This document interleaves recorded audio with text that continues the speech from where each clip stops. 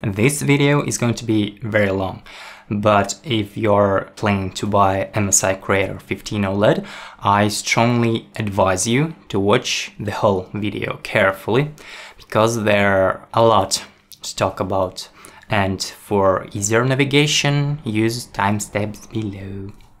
And damn, it was hard to put everything in one single video, so it is comprehensible enough for other people to watch. Also, I want to mention that I didn't buy this laptop for any review or anything.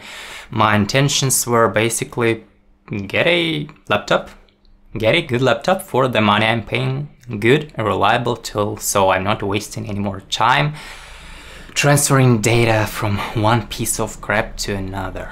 And this video is practically my user experience with MSI Creator 15 OLED. Experience from a real user.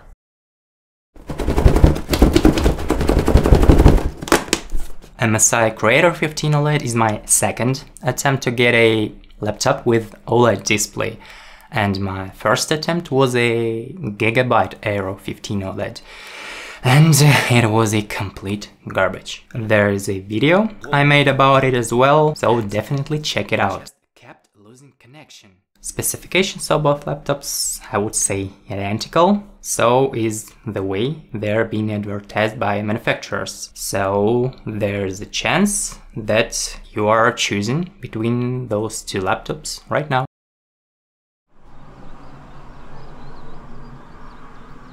I do not have any particular feelings about Creator 15 OLED design. It's basically a subtle black box with a screen and a keyboard, without emphasis on any part of it. No red stripes, no RGB logos, no anything.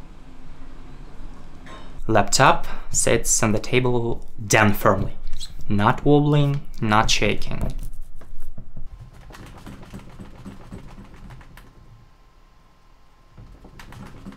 Because of that boxiness, there's not much distance between the bottom lid of the laptop and the table. And it affects you know what. More of that later.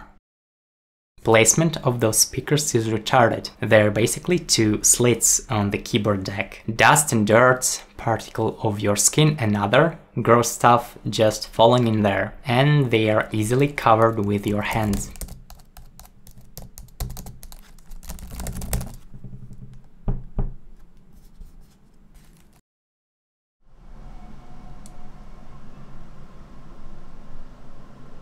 There are two USB-C ports, one on each side of the laptop. And it is nice. One of them, according to MSI, is a Thunderbolt 4 and supports power delivery charging. I don't have any compatible cables to test this, but for sure this laptop can charge other devices, for example, like my Pixel 4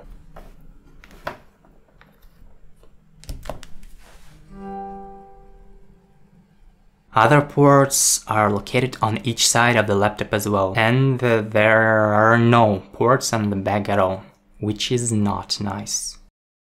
If the laptop is sitting on the table and a lot of cables connected, it is a complete disaster. Those cables are getting in the way of my hands constantly. I put my external keyboard behind the laptop so my elbow is on the table and uh, I have to throw power cable over my damn wrist. Come on!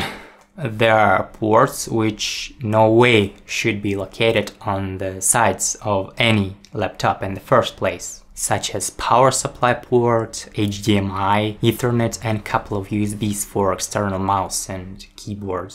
All those bulky ports should be on the back side, like in Lenovo Legion 5 for example. More than that, they're too close to each other and sometimes I just can't insert a regular USB drive. Other cables just will not let me do it. And I'm not even talking about those SD cards adapters, which are completely necessary because, funny thing, it doesn't have a SD card slot. Even that trashy Gigabyte Aero 15 OLED has a SD card reader, but that creator's laptop does not. Yeah.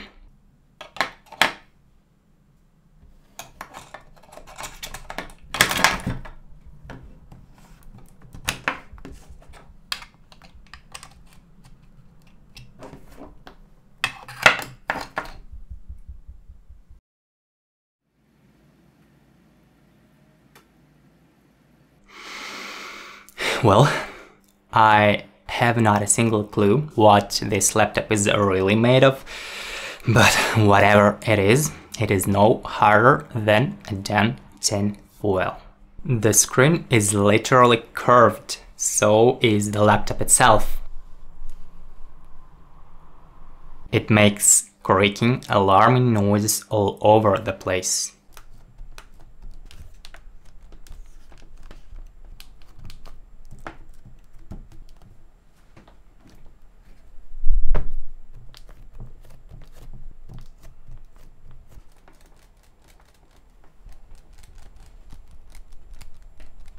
And it bends very easy.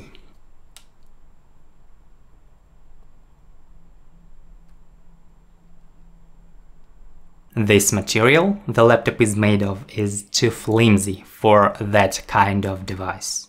I mean really, what kind of crap is it made of?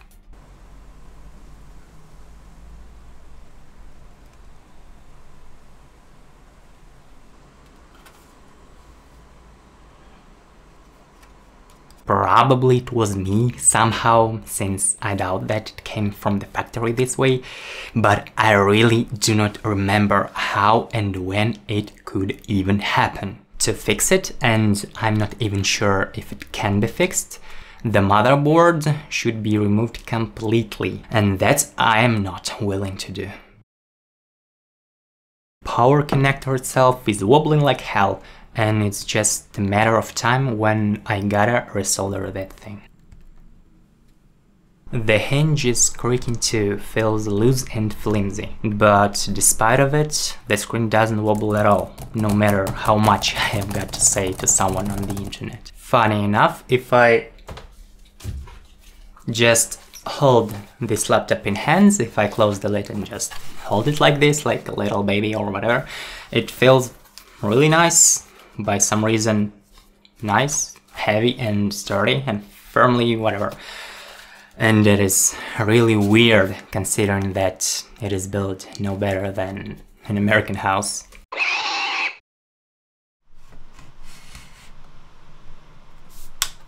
The laptop is pretty hard to get inside to the extent that uh, it is possible to tell if uh, the laptop was opened before or not.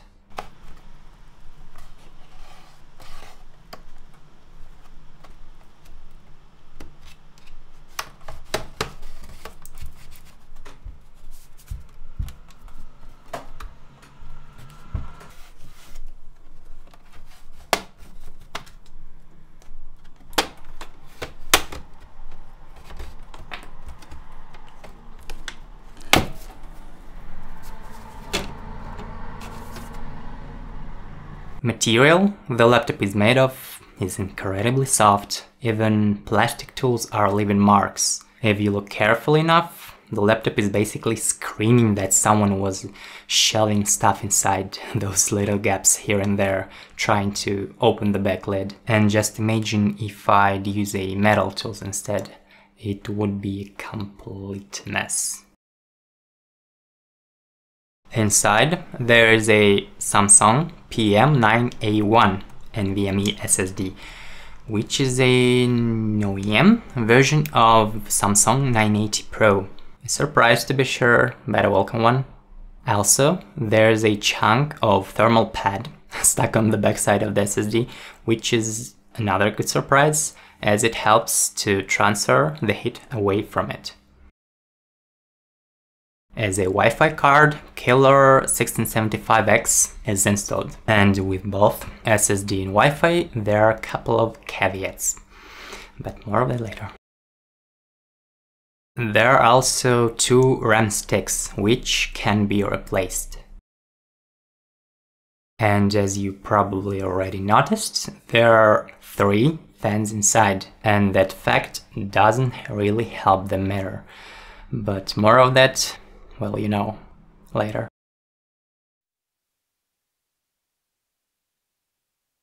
Before I proceed to describe my experience with the laptop, I need to make uh, clear that OS situation here. Out of the box, Windows 10 was installed with some bloatware as a bonus. Instead, I installed a clean version of uh, Windows 11 from USB drive created with Microsoft Media Creation tool, but I kept the partition with MSI Factory Recovery Image intact. Keep that in mind just for a little bit. I haven't had a very pleasant experience with Windows 11, so maybe after a couple of weeks I decided to get back to Windows 10. But uh, that decided is more like wiping the drive in anger because nothing was working properly. And here we're recovery parts comes in. Absolutely the same story as with Gigabyte Aero 15 OLED. There is an official instruction how to recover from factory image, but that option is missing. There is a tool supposed to fix it, which of course not fixing anything, though it even says that fixing is successful. There is even an 18 pages PDF with instructions how to create recover backup on those laptops which come with MSI Control Center pre-installed. But this option is missing too, even though, as you remember, recover partition is intact. Maybe, just maybe this option is present when if Windows was never been reinstalled. But at this point, I do not care completely. And in the end of this video, I will try to explain why. Anyway, a recover partition here is useless. The only thing it does is taking 20 gigs of your storage. You can't recover anything from that partition. You can't download factory image anywhere from the internet as well. I even got in touch with the company and was told by MSI that I need to go to the local MSI service center and let their engineers install it for me. Yeah. I wanted to elaborate this problem even further in this video, but it's already too damn long, so I'm going to make a separate one comparing recovers of different manufacturers and my thoughts on how recovery should be. So there is no easy way to reinstall Windows on this MSI Creator 15 OLED. The only thing is left is installing vanilla version of Windows and then wasting another hour diligently, like a good boy or girl, installing every driver available from the laptop's official webpage, following those demo instructions and hoping that you will not miss anything and everything is going to be working properly.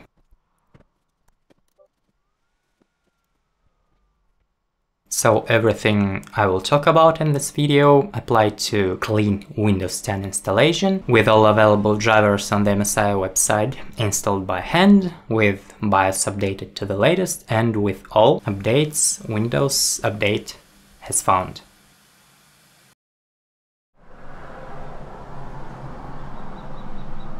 The keyboard doesn't have a numpad, someone will miss it for sure, but uh, it's only a 15 inch laptop, so cramming an numpad into that chassis is not a really good idea. Like again, Gigabyte did with Aero.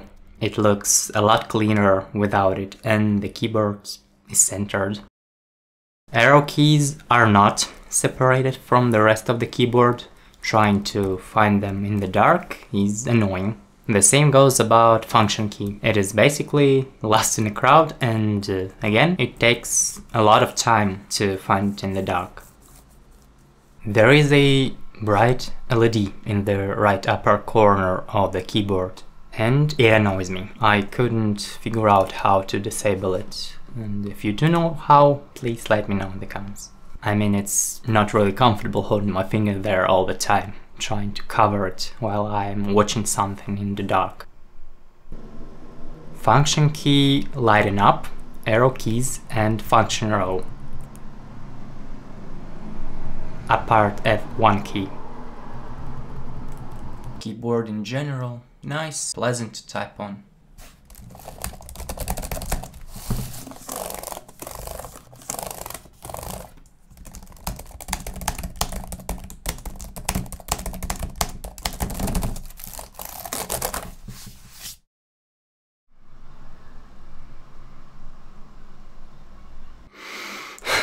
I do not like the touchpad here. Pretty often it registers clicks I feel like I never made, Sometimes I even drag my files without realizing it and then I find them in random folders on my computer. And if you move some important files like this, for example, in some system folder, I doubt you find those files ever again. I do not trust this touchpad completely, but it is not the worst I ever used, especially knowing which touchpads other Windows laptops have. At first I didn't like that wide aspect ratio of this touchpad, trackpad, whatever you want to call it, but actually it is not that bad, especially for scrolling timeline, for example. Anyway, the moment I put the laptop on the table, I connect mouse.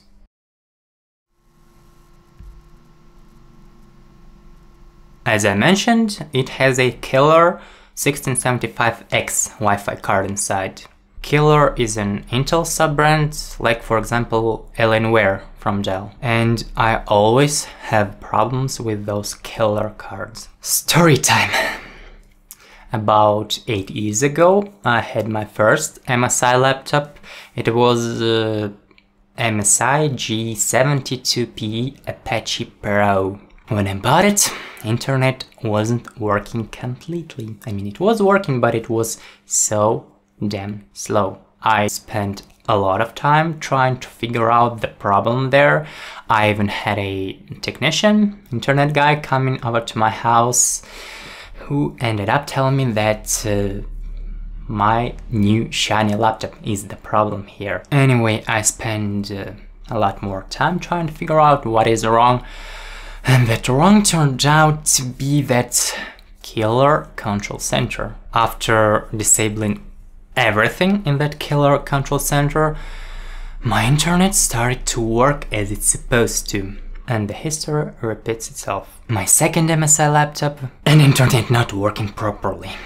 It takes forever to load a single page. Anyway, the moment I saw that killer icon, it was just like, um, I realized what is causing the problem here? The same killer control center. And after disabling every little optimizer in that problem, everything went back to normal and uh, now the internet is working as it's supposed to in the first place without any problems, nice and reliable. Those stupid optimizers supposed to reduce lag or whatever, but the only thing they reduce is my connection speed. So if you have problems with your internet as well, and uh, there is that killer control center installed on your computer, well, you know what to do.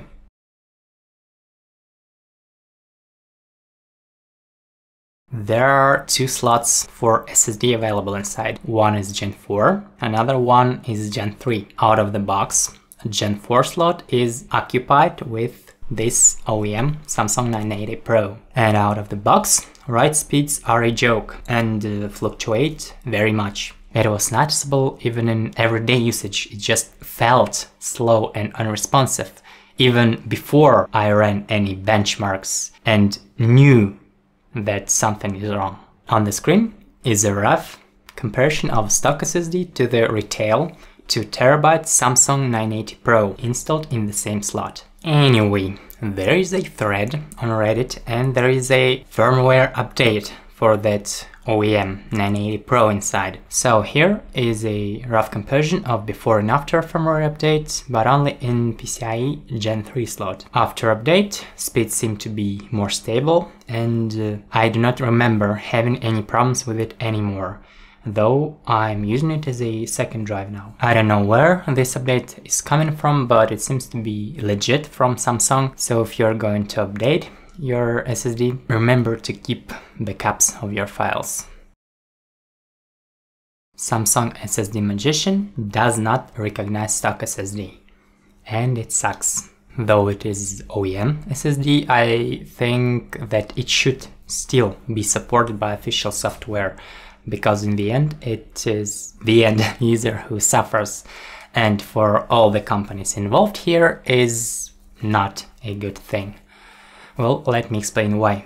If this is the SSD inside or everything else basically is not working properly inside the laptop, well, the regular user is not going to even try to figure out what causes the problem here. It's going to be much simpler situation for him or her. They just not going to buy SSD from Samsung ever again. They just will buy SSD from another manufacturer instead, just because they had a bad experience with it in this particular laptop. So my point is, the end user is not going to blame the laptop manufacturer only for putting that bad SSD inside the laptop, but also manufacturer of this bad SSD. So OEM SSDs should be supported by official software for the sake of user, for the sake of laptop manufacturer, and for the sake of SSD manufacturer, of course.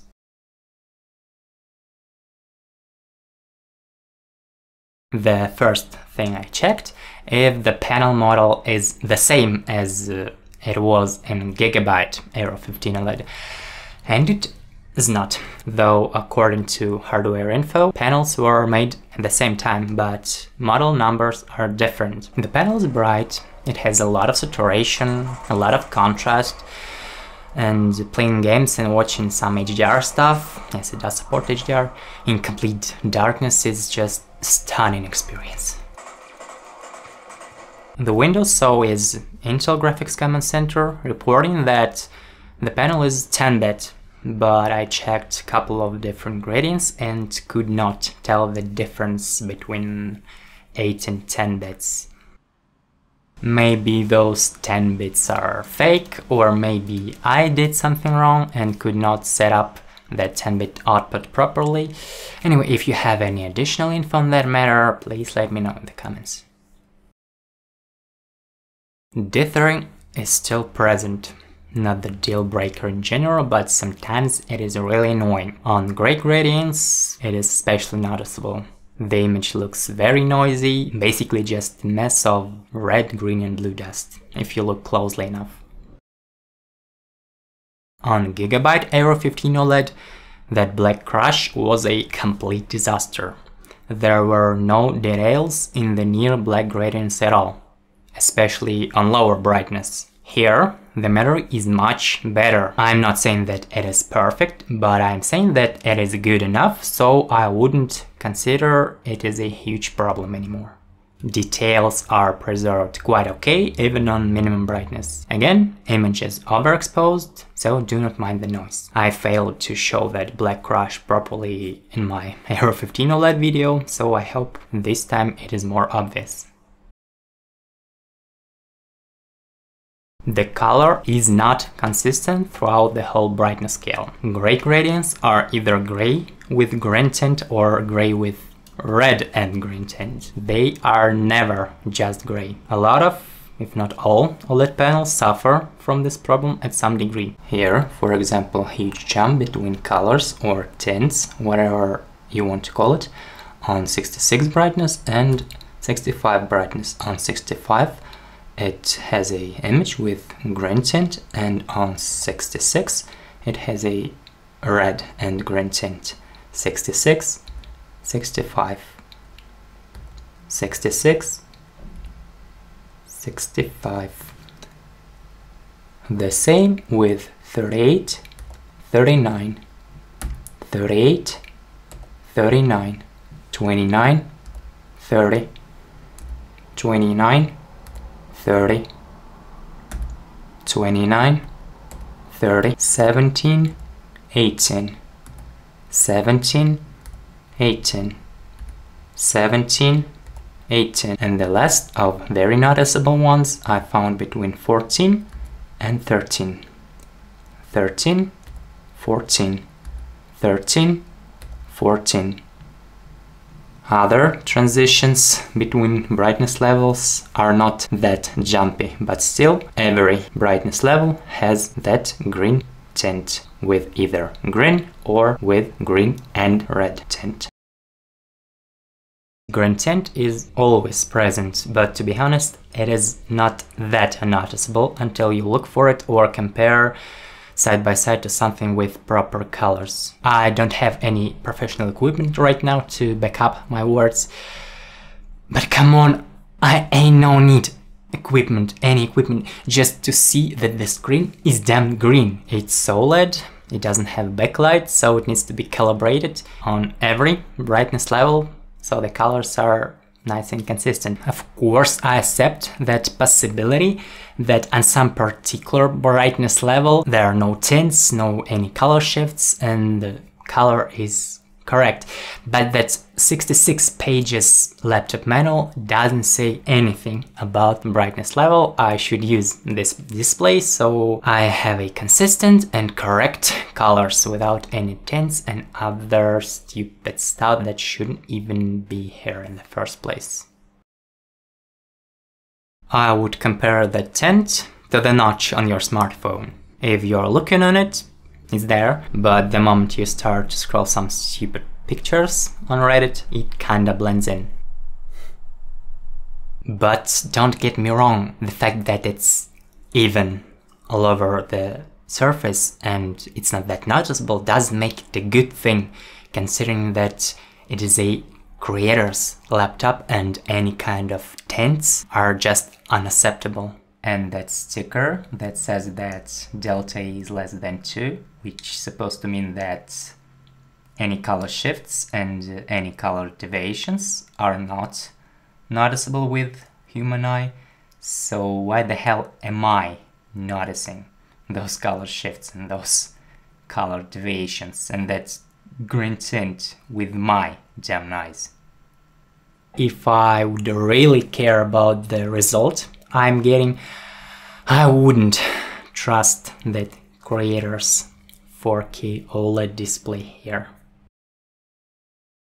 If you watched my video on Gigabyte Aero 15 OLED, you definitely remember this thing. And MSI Creator 15 OLED, good to know, doesn't have it, at least in my unit but it has some of that green bleeding by the edges. Not severe, but still present. On the one hand, it is good to know that uh, that bleeding is not severe, but on the other hand, uh, I'm happy because my display is not a complete trash, though it's supposed to be color correct and professionally calibrated and stuff. In this case, something is definitely wrong. Again, as any other OLED display, brightness here is adjusted with pulse width modulation or PWM. The screen is flickering like crazy and in the best case it causes eye strain. In the worst case scenario it causes deterioration of your health sooner or later in the future. Means this display is just not suitable to stare for a long time. And we are talking about creator's workstation right now. In Aero 15, all that factory calibration nonsense was just a bunch of retarded ICC profiles, which are gone forever if you reinstall Windows and uh, forget about them. Here is retarded MSI True Color instead. Dedicated software to manage colors on the display. It even affects full screen programs, which makes sense probably if you think about it since the whole image is being chewed and spit out by the Intel graphics anyway. So, when MSI Color is installed and 10-bit option in Intel Graphics Command Center is enabled, there are artifacts on the screen. If I choose 8-bit and MSI Color is installed, the screen is flickering, like turning off and back on, flashing black, or even maybe like switching between integrated and dedicated graphics for some reason. If I uninstall MSI True Color, both options, 8-bit and 10-bit, are working fine, no flickering, no artifacts. But at the same time, I have a video where there is no MSI True Color icon present, but the screen still flickers. Maybe it's just that the icon is not showing yet, since it needs two restarts of the laptop to be installed properly, that MSI True Color, according to the instruction. So I tried to figure out what exactly causing those problems here.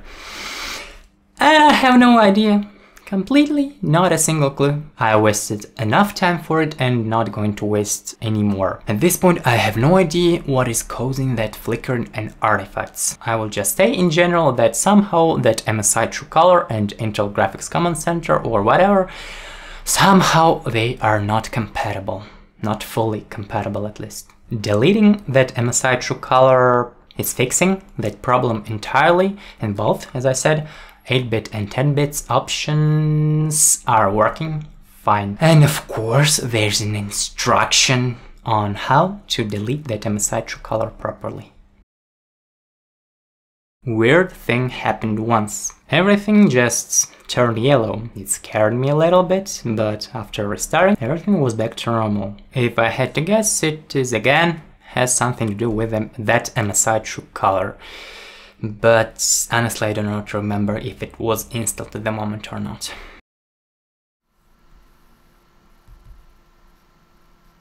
MSI Control Center is another useless, stupid, good for nothing, messing with your computer, doing who knows what.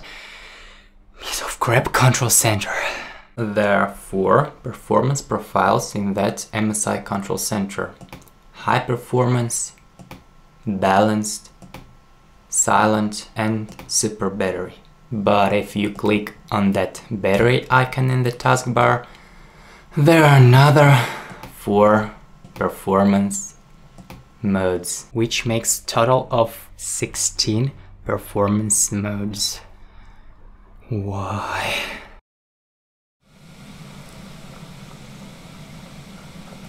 With auto, default, fan curves, none of performance modes is comfortable to use. In balanced and high performance mode, those fans are always on, they never shut up, and you're just getting tired of that constant noise. But far more annoying is that they as it feels kick in randomly. It is applied to every performance mode at some degree, but the silent mode is the special one here. In silent mode, the CPU fan is set to minimum, constant and pretty quiet, but the GPU fans turn on and off just randomly, even if the laptop is barely warm to touch.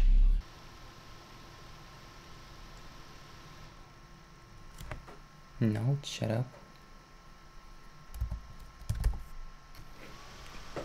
The hell? This.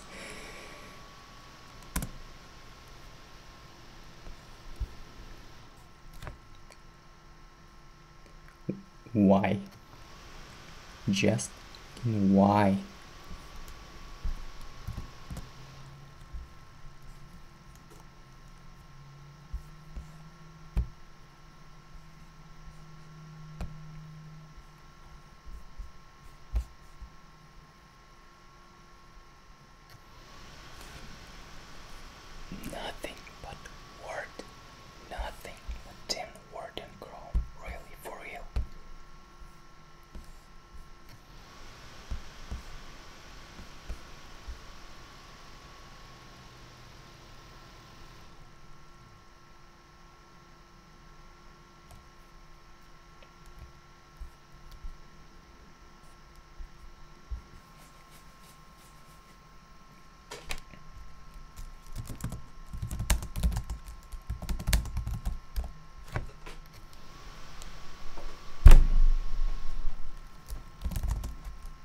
You never guess when they're turning on next time. It is so damn annoying if you want just to sit and quietly work. That irregularity and anticipation can drive anyone crazy.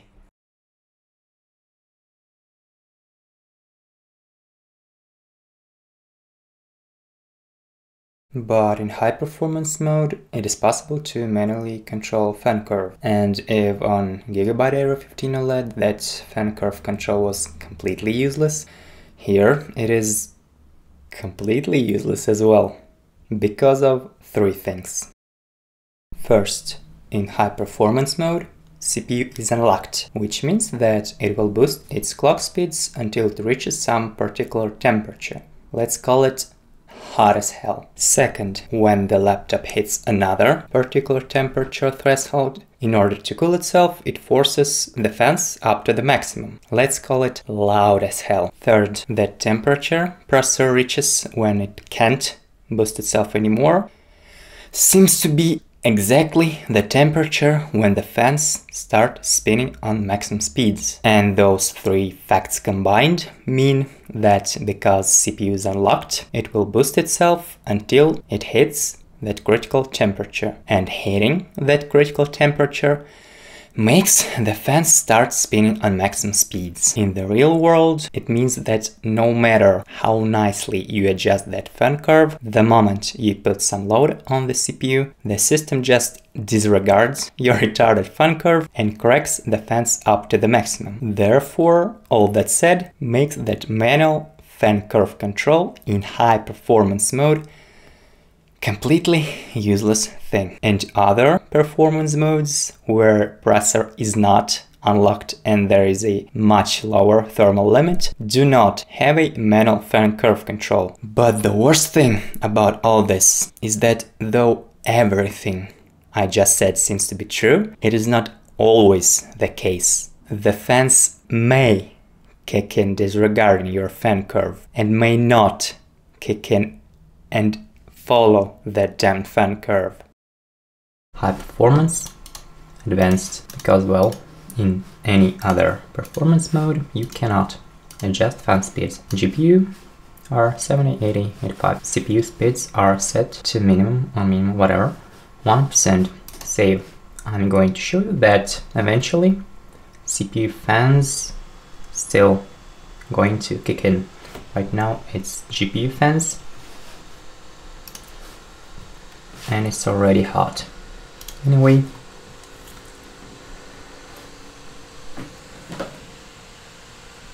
and it's already on. So,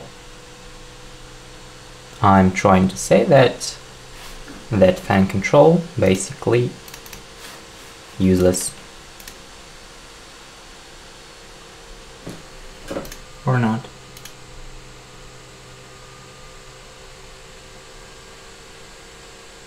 Yep, it is useless, even though you said that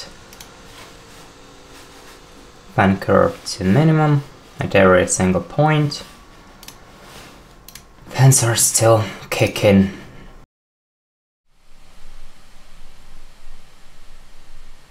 High performance mode, fan set to auto. Cinebench R23. Average Intel Core i7 11800H scores about 15 100 points single core and 12,000 multi-core. And here MSI Creator 15 OLED comes in. 1419 single core, 9044 multi-core.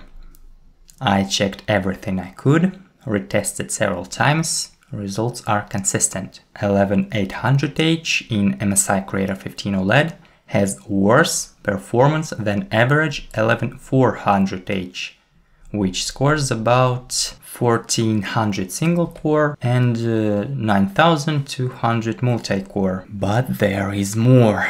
I got those numbers when the laptop in that said desktop mode and uh, there is enough of airflow. But uh, when I put the laptop on the table, like any other regular laptop, situation is even worse though single core result does not change, multi-core score loses another 600 points.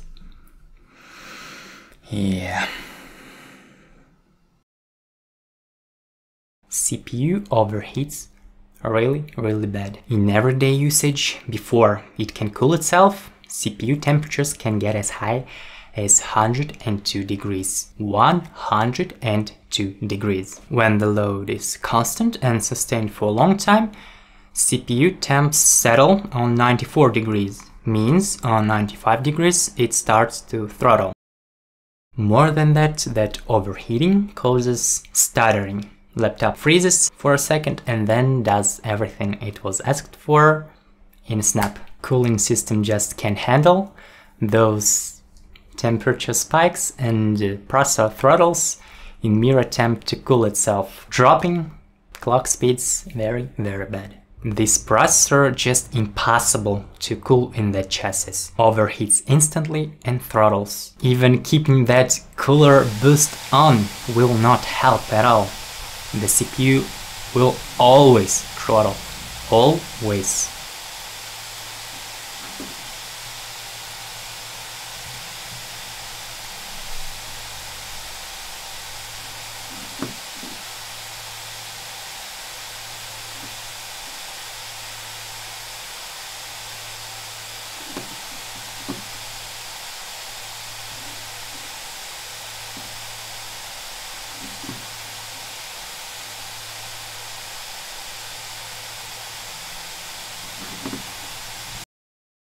And balanced mode is completely the same.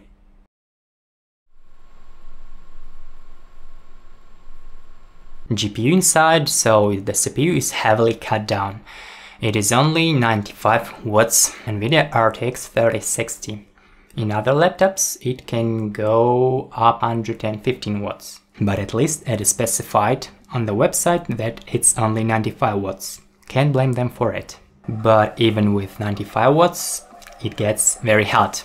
You can expect about 85 or even 90 degrees if you're using this laptop as a regular laptop, putting it straight on the table. It just chokes because of lack of airflow. But if the laptop is in a desktop mode, means that it's upside down, therefore a lot of fresh air comes in. GPU temperatures are stable at 74-75 degrees, with fans only at 50% for gaming in 1080p, performance of this laptop is going to be enough for a lot of people, even in newer games.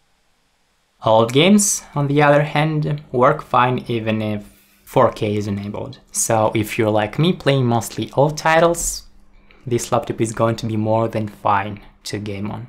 But if you're going to get a maximum performance out of this GPU, you need to connect external monitor because this laptop doesn't have a MUX switch and the graphic goes through Intel. But in this case you are literally leaving this OLED display on the table. The main reason why you bought or going to buy this laptop for.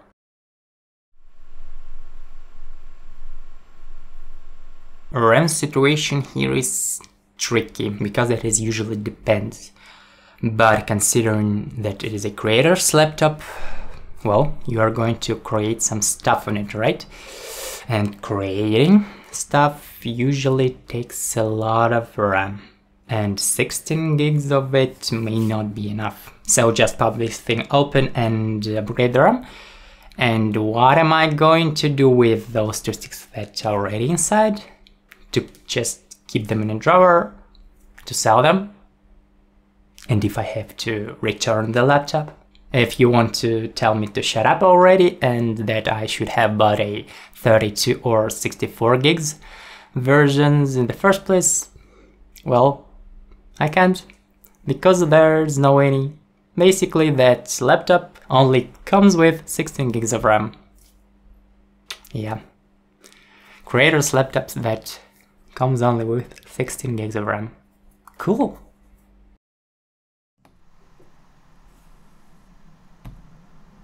I'm not going to invent anything new. I'm just going to start DaVinci Resolve, scrub around the timeline, disable, enable stuff and see how it's going to behave. The laptop in high performance mode, then set to auto and here it is set to best performance. Right now we are running DaVinci Resolve and hardware info. Also I want to start task manager and I want to track GPU memory usage. The laptop just started and there already 6 gig used. So now we are running DaVinci Resolve. I didn't even run project, it's already 10 gigs. I'm going to run that project I just copied so I won't miss anything in my project. 15 gigs of RAM. Some stuff is written on the SSD, 9 gigs of RAM is actually used. Now let's just scrub around timeline. Well, not that great, right?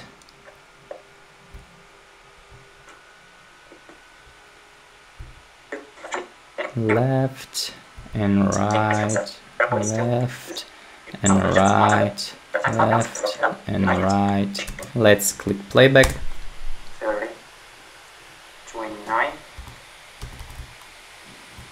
Again, images up. Especially now. So it kinda works. The end user so is not going to blame. it's not that bad, right? It's going to be much simpler. Yeah, it is kinda usable, I guess. What about our memory? Well, you see it with your own damn eyes. 27 gigs of memory is needed, and this laptop has 16. Let's grab a little bit more. And I think it stutters.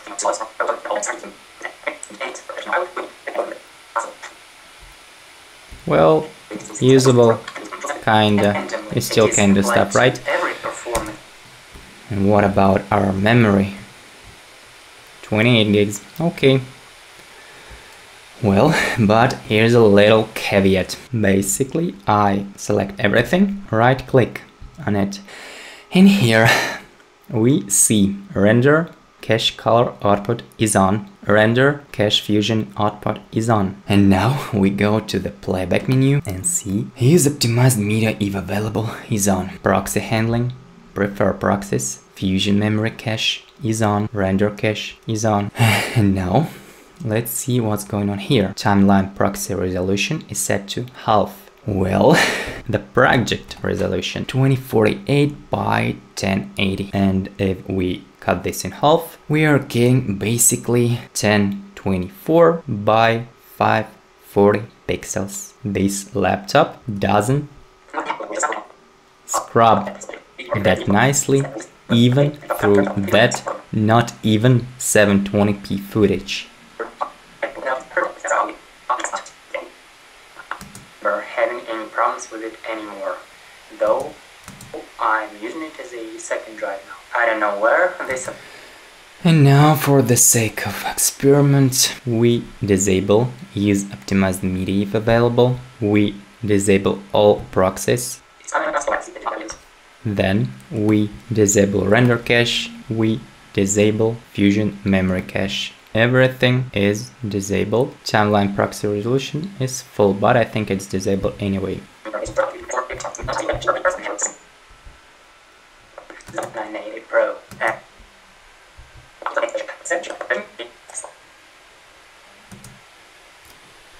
And is bad.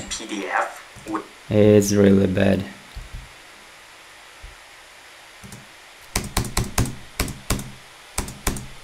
Now let yep it's dead basically it's dead. I want to start that hardware info right now and see what's going on with memory. But I think it doesn't even start. 43 gigabytes. 43 and it's dead. This laptop cannot be used without proxies at all.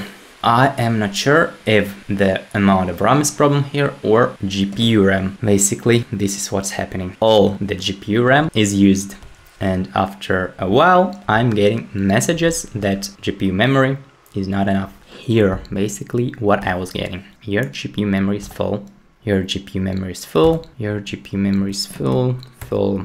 A lot of those stupid notifications.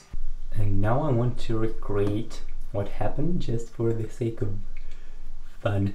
So now the reduction, better, smell, whatever. And that thing is okay, I guess, or not. Let me check. Uh, kind okay. Let's park it right here. Add node at serial before. I'm applying the flickering. Applying the flickering. And we see what's going on here. It's suffering, listen. This thing is just suffering. But still somehow. Oh my head, oh my head. Let's close it and remove noise reduction. Oopsie, oopsie. Yep, and it's gone again. DaVinci Resolve original project. I'm opening it. And and it's gone. Take two, this one. I'm running it.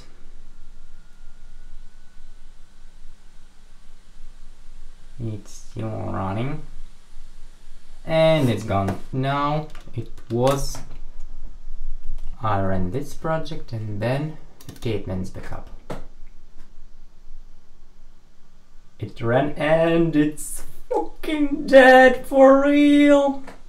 What the hell is even that? Well, that is your Gem Creator laptop. And more than that, RAM usage. Here, 26 gigs, 37, 56, 76 gigs of RAM is used.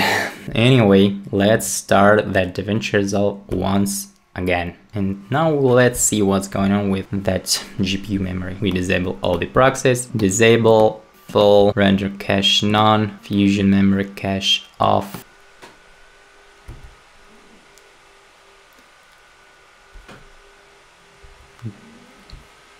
It just dies, GPU memory is full, it uses some of the RAM.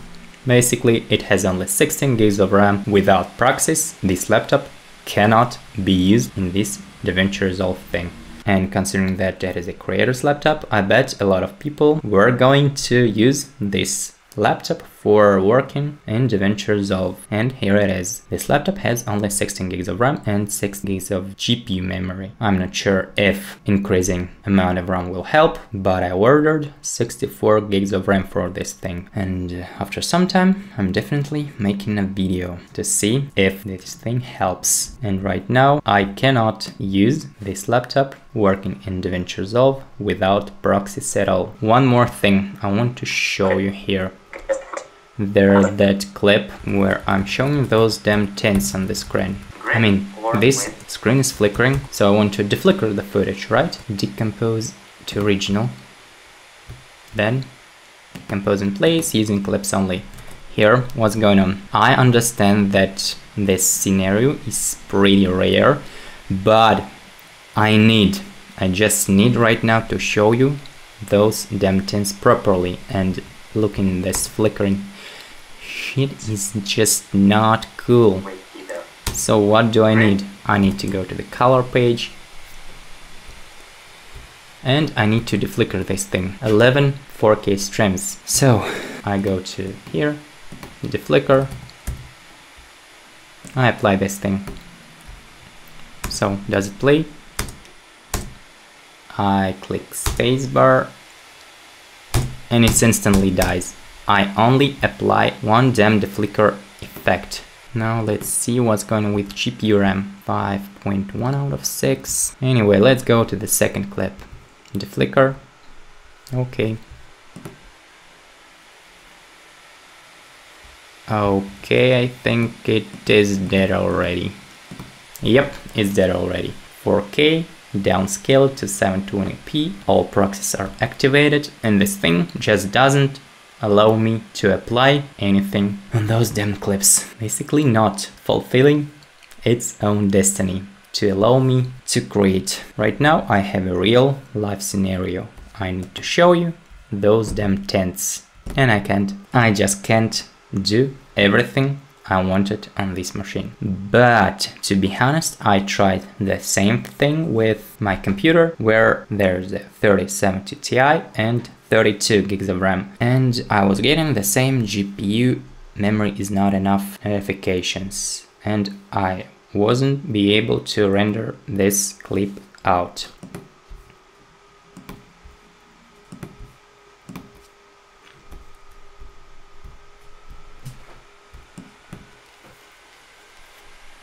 And it just dies, really just dies. It's only those damn clips and it just dies but as I said I ordered 64 gigs of RAM for this thing and I'm going to make a separate video about upgrading this thing and especially trying to do this exact part of the video but even if we forget about this exact part I'm going to say that working in that DaVinci Resolve on this laptop without proxies is just not possible.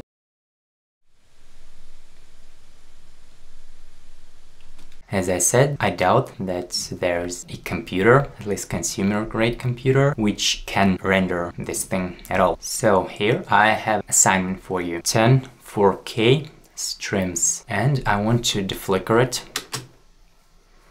You see what's going on? I was able to deflicker it even on this laptop, but the experience was not great and results are not great as well. I take first clip, apply grade to it, render this thing out. Then I get a rendered clip, put another clip, apply deflicker to this clip, and render those two stripes. Third stripe, and so on so on. I spent about 30 minutes doing this, and there are three more clips which need to be deflickered. And I just do not want to do this. One clip is enough. So what kind of assignment I'm talking about? To figure out if there are any computers which can render this thing or maybe I'm just asking too much. 10 4K streams and I need to deflicker it properly applying effect to all streams at the same time and then render it out and not rendering one little stripe at the time and then layering all those 10 together. I will put a link to this project, you download it and you try to deflicker one clip at a time and then let us know when your computer dies. So let's check settings. Playback, use optimized media available is on. Proxy handling, prefer proxies, timeline resolution quarter, render cache smart, fusion memory cache auto, then edit page, render cache fusion output auto, render cache color output is on. Shift 8, export video, QuickTime, H265, native 4K DCI, timeline resolution 4K DCI, quality best, encoding profile main, keyframes automatic, frame reverting disable, square auto same as project, force size into highest quality, force bar. Basically look at those settings and choose the same. So what do you do? You look for deflicker, apply to the first clip, then you go to here, shift 8, add to render queue, render 23 seconds. Then again color page second clip deflicker shift 8 add to render queue replace render.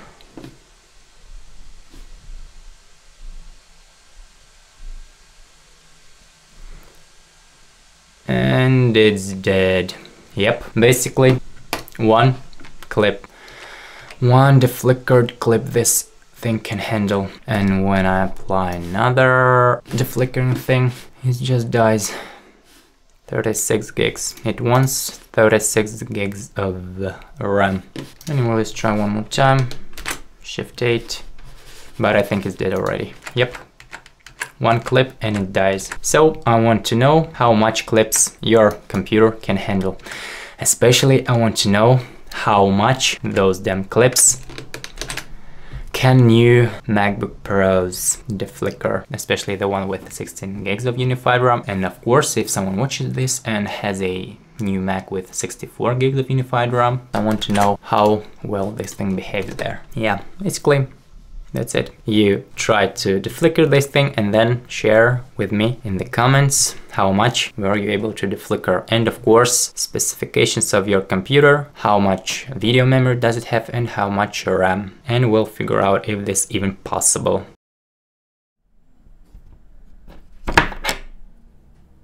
If the laptop is unplugged and running on battery, it drops another 5 to 6% of CPU performance. I still do not understand why Windows laptops drop performance like this when running only from battery. If you're going to tell me that on battery there's just not enough juice that goes into the CPU, then please explain me why the hell it drops another 5 watts even if it's running in that super battery mode if it's already consumes only 15 watts of power. I mean, you're telling me that the laptop, that the battery inside the laptop can supply enough power to run in high performance mode where the laptop consumes 45 watts, but it can't handle 20 watts in super battery mode. I don't know, it sounds really fishy.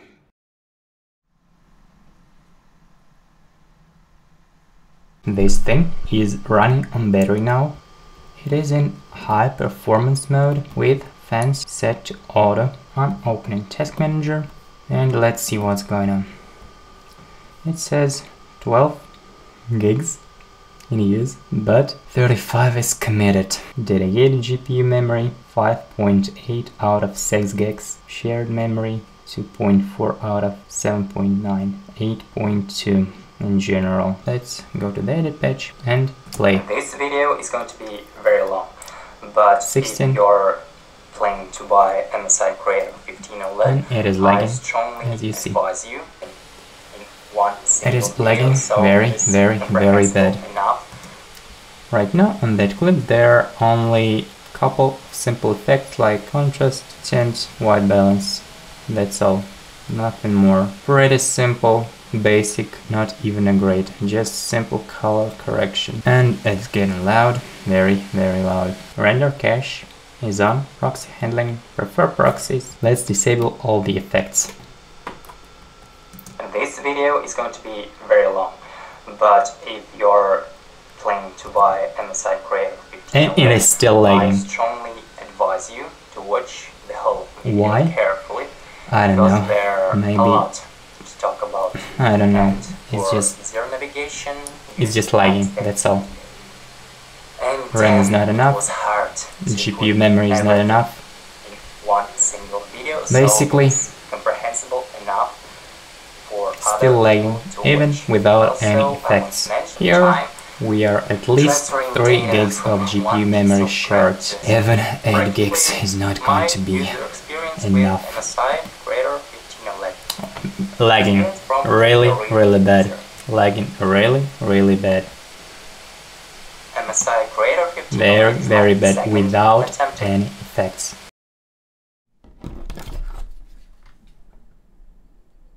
In high performance mode and that battery icon in the system tray set to best performance, you can expect about four and of battery life working with documents, browsing YouTube videos, movies and stuff. I mean, everyday usage, four and a half hours of battery life.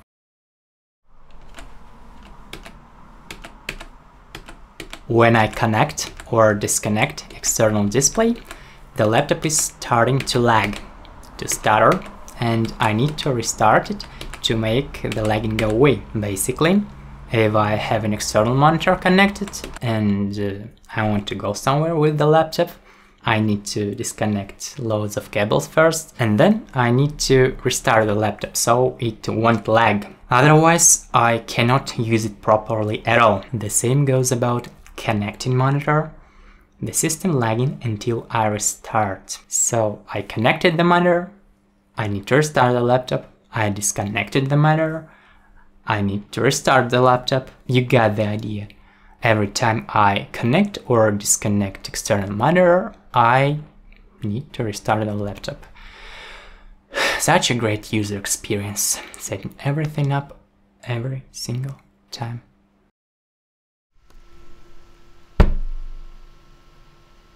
even more great user experience. Sleep mode here just doesn't work no matter if I close the lid or if I click that sleep button in the Windows menu. Screen turns off, fans stop spinning and a couple of minutes later then spin back on again. They turn off, they turn on, they turn off, then turn on. It is very, very annoying. I checked every setting. I checked a lot of stuff, really. It's so damn annoying. And turned out, it just doesn't sleep. I googled it and it is a widespread problem on MSI laptops. So I ended up using hibernation instead. Of course, it takes a lot more time to wake this thing from hibernation than from sleep, but listening this thing turn off and on fans randomly when it's supposed to be sleeping is far more annoying. Also, I cannot wake this thing from the hibernation using my external keyboard and if it's in that set desktop mode, I have to go to the laptop and slightly open the lid, otherwise it just won't turn on and press that power button.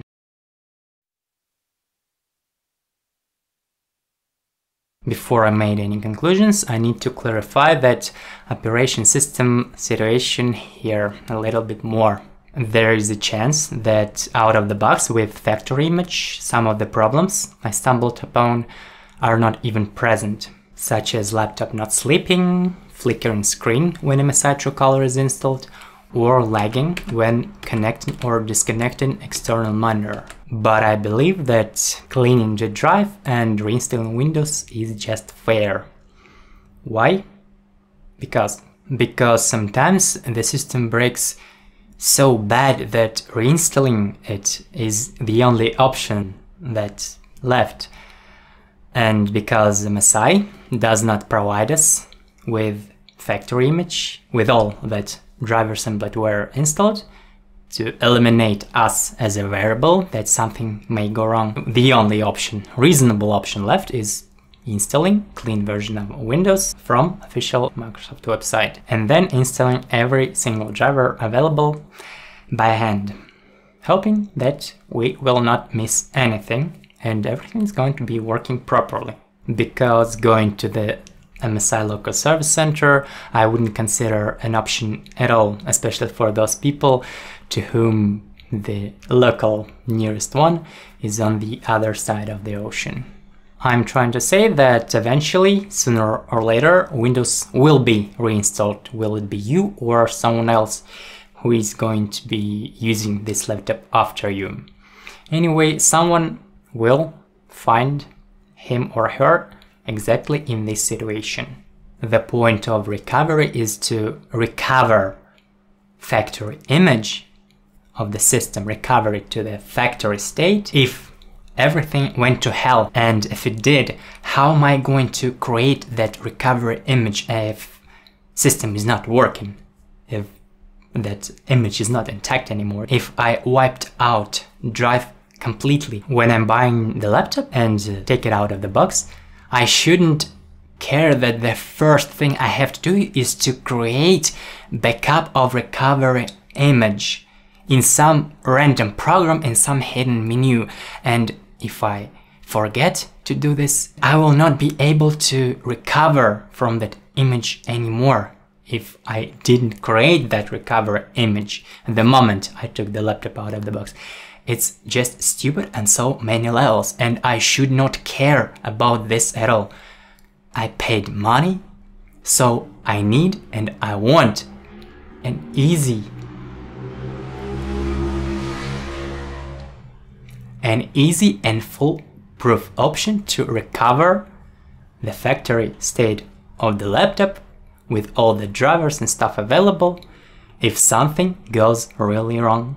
But instead of smooth and seamless recovery, I ended up installing clean version of Windows and then installing those stupid drivers by hand. I mean, dozens of pages of those retarded instructions, 4 pages instructions how to install MSI True Color, 12 page troubleshooting, why that MSI True Color may not be working, 18 pages how to create backup of the factory image. I mean, all that stuff just to make it work, at least somehow acceptable. Reading dozens of pages of those stupid instructions. Just look what people do to recover that stupid recovery, how they waste their time in vain. It's just not right. It shouldn't be like this. I mean, it's stupid. It's just mockery and disrespect to the customer.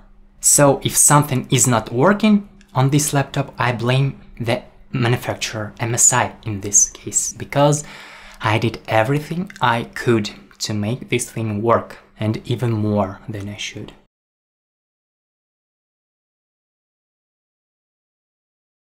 Well, I have really strong, though mixed, feelings about this laptop if you compare it to MS, MSI to Gigabyte Aero 15 OLED, it is obvious that Gigabyte is not even an option here. In MSI, Wi-Fi is working, there's no that severe green color bleeding, at least in my unit, and it doesn't wobble when you're typing. So let's just say that MSI Creator 15 OLED is straight better than Gigabyte Aero 15 OLED, or more precisely that Gigabyte Aero 15 OLED is a pure piece of trash and should not even exist in the first place. So we better forget about this thing forever.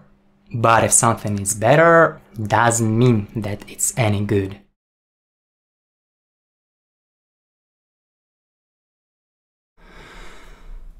So, actually, it was supposed to be kindly different conclusion. I was going to go over again those things I talked about in this video. But come on, I'm so damn tired. Yes, that is the point of my conclusion. I'm so tired of this thing. I do not even want to talk about this laptop anymore. Right now, it's there. Basically, where it belongs, just on the table in that stupid set desktop mode, because using this thing as a laptop is horrible experience. This thing is loud as hell, extremely loud. Fans won't shut up. They kick in randomly, turn off randomly, turn on randomly. They thing just too unpredictable, too unpredictable. And the main problem with this screen is the display. Yes, it is weird that considering it is supposed to be main selling point of this device, but basically it is the main deal breaker, I would say so. Maybe I am so damn sensitive to this PWM flickering stuff. But as I was saying countless of times, if you do not feel strain at the moment, it still affects your brain because of the way how yes how our brain works, how our body works in general, and that constant flickering is just not good. And the amount of time I'm wasted on this thing, installing those stupid drivers, reading stupid instructions, come on. And yes, this laptop can be used at some point. It's a regular laptop, but it is not a regular laptop. It is practically it is name, It's supposed to be creator's laptop, reliable tool, reliable machine for people who create, who do some serious stuff, who make money with this, not this particular laptop, with this machine in the end. And it's not a reliable tool at all. And you cannot even use comfortably this display. I mean, maybe you just ignore this fact. If you already bought this laptop, maybe you ignore this fact that display is harming your damn eyes. But think about it. Maybe you think that I'm just trashing, that I hate OLEDs. Yes, I do hate OLED displays because they're harmful. Harmful. Very, very harmful for our health, for mine and yours. There are a lot of studies on this topic, so Google it. And if you already bought this laptop, you can do stuff. Wi-Fi works, but come on, why do I need this Wi-Fi? If the best option for this laptop is sitting right here, like this. I just don't want to use this a lot. The moment I put this thing on a table, the fans start spinning like crazy. It's very loud. The screen burn the shit of my, of my damn eyes. I just do not want to use this thing. And it's supposed to be a creator's machine for professional. For damn professionals. Come on, it's so damn stupid. Yes, I'm just running right now, but in the end, this thing, this tool, supposed to be your tool, yes, and give you some emotions. I mean, it's supposed to be a good, reliable tool you enjoy using. And if you are not enjoy using this thing, how are you supposed to create something and just want to say this thing is not a creator's laptop, is not a professional machine. The best scenario for this thing is just sitting right here like this in that stupid desktop mode. And if it's sitting on your table all the time, connected to external monitor, TV, television in my case, why the hell do you need this in the first place then? This OLED display and uh, comparing to Gigabyte Air for example, there, as were said, Wi-Fi is not working, but You do not need the German Wi-Fi if it's anyway connected to the Ethernet cable. In short, this laptop doesn't make any sense, though it's far better than Gigabyte Aero 15. If you haven't bought this laptop yet, just don't please, just don't, really. Just don't please. OLED display is not something that actual creator, actual professional who spends a lot of time at the computer wants to get. This thing is damn harmful for your eyes and more than that. Come on, those tints, those color shifts, professional machine, even it's so stupid. I don't just don't want to talk anymore. Just do not buy this laptop. So super short version. If you already bought this laptop, well, it's not the worst thing you could do. You can attach it, this to external monitor and comfortably use it. Still, you can do your job done. But if you still haven't bought this thing, just don't. Just fucking don't. If exactly, if you're a professional, you do not need. It's the worst thing you probably can do right now is buy the laptop with OLED display, mostly because of how it affects your eyes, how it affects your health. And as said, you are professional, you stare at this thing whole day long. And staring at OLED displays whole day long is super retarded thing to do. So for me, I am probably done completely with OLED displays at the moment at least. Maybe mini LED, micro LED, whatever comes next will be something to care about, but right now I am strongly advise you not to buy any professional machine and even consumer machine with OLED display because those stupid OLED displays in laptops, yes we are talking about laptops right now, are flicking like hell. You are probably watching this, a professional guy or girl who want, who want, who want, who want a good laptop to do stuff done, but there you're getting this. Yeah, sorry. The best thing I can do is to prevent you from buying this crap. Not exactly crap per se, but this OLED display. I'm going to make a separate video, basically the video for MSI, because I think at some point it still can be fixed. Well, you cannot fix that retarded OLED display, you cannot fix that build quality, but that recovery stuff and uh, sleep issues and other stupid random things which just waste your damn time in vain, they still can be fixed with some software updates. So that's probably it. Though I still have so much to talk about.